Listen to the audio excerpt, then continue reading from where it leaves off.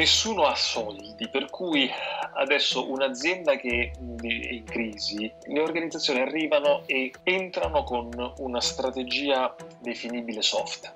Noi non compriamo tutto, noi ti diamo cash in cambio di un, azioni. Pompe funebri investono in pompe funebri. Lavanderie d'ospedale, cioè che lavano proprio le lenzuola, i camici, investono da sempre.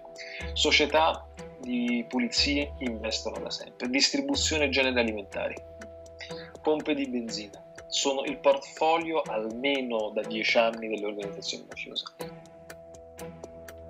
Perché l'obiettivo loro spesso non è neanche i soldi, è pulire i soldi.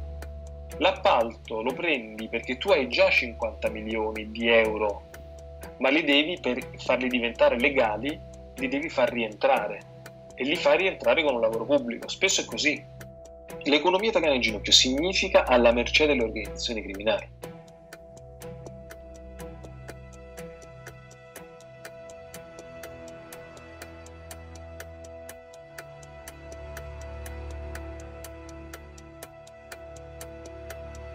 Detto questo, la, la situazione criminale mondiale, io credo che il Messico, il Brasile stiano vivendo situazioni in tutto il Centro America drammatiche per il coronavirus e la presenza criminale in gra- anche l'India, Mumbai, i cartelli di Mumbai sono molto molto potenti. Le mafie ecco, in questo momento stanno conquistando consenso. Un'economia debole è un'economia in preda alla mafia